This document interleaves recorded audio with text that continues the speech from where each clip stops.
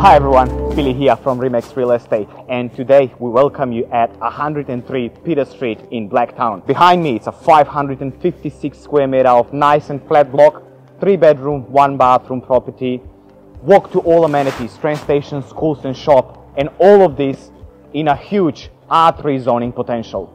Come and have a good look.